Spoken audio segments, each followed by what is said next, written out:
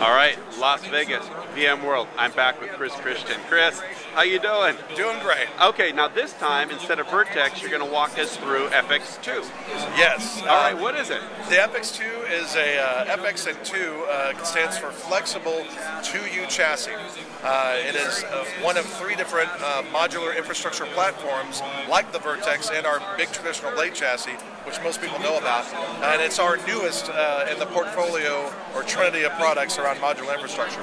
Cool. Let's I'm take gonna, a look. I'm going to show you why we call it a flexible 2U infrastructure. First, there it is.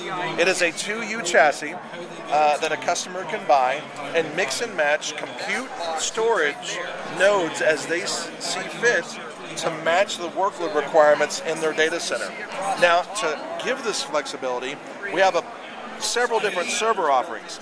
Like the VRTX, we have a two, two socket um, half width blade with 24 DIMMs, very much like the M630, but is, it is the FC630. It's a little bit uh, shorter and a little bit wider, but same sort of functionality, up to 44 cores of processing power, up to 1.5 terabytes of RAM. Uh, this model has both 2.5 inch uh, hard drive offerings and a 1.8 inch um, SSD offering uh, for the FC630. All the nodes inside of the FX2 chassis are named FC for flexible compute. Uh, inside VRTX and M1000E, they are M series uh, for modular. Uh, I also have a quarter width. This is something that's pretty unique to the industry as a individually service, serviceable quarter width compute node. And this has all the bells and whistles of a mainstream server. I have two sockets, and this is E E5 2600 V4, so I'm not uh, skimping on the processing power. I think I can go up. Um, the, uh, the the wattage requirements are a little bit constrained here because I have eight sockets in one U, uh, but it's a large portion of the bin stack for E E5 2600 V4. I have a quarter terabyte of RAM over eight DIMMs, four here and four here. Uh, I have dual port 10 gig uh, on board, which uh, pipes through to a redundant I/O modules. We'll talk about in a minute in the back, uh, and then I have a PCI interface card that allows me to assign a PCIe slot to this server if I need to expand it. Uh, if I want to embed my ESX uh, server image, I can do it on our redundant embedded hypervisor on this SD card, and I can do that here in a redundant fashion, which has failover capabilities.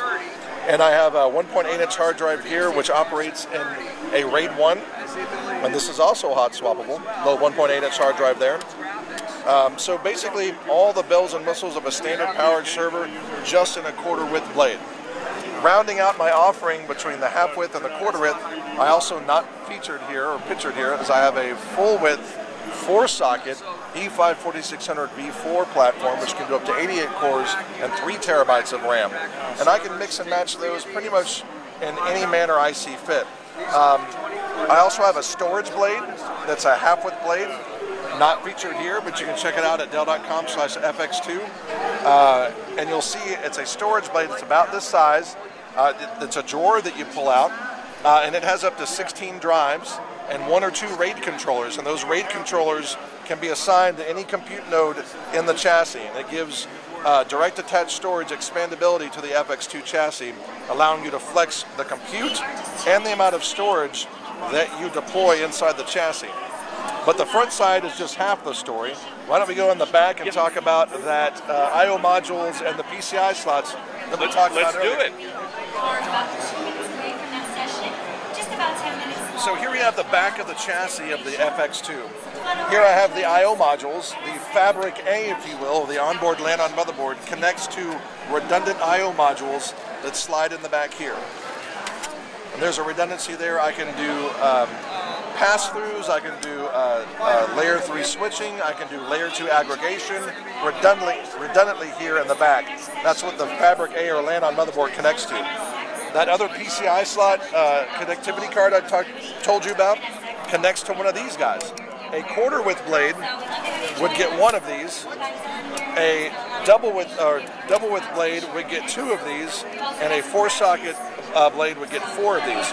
This is a by eight lane PCI slot that I can slide in and assign to these compute nodes to give myself expandability for network connectivity, like a quad port 10 gig NIC, a fiber channel card, uh, you name it, whatever fits inside this by 8 profile and this uh, small form factor PCI slot.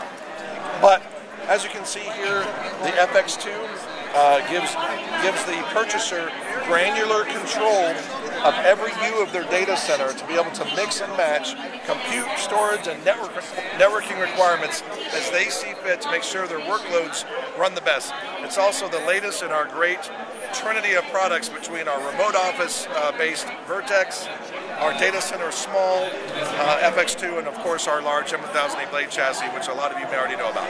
Awesome. Chris Christian, thanks so much. Thank you.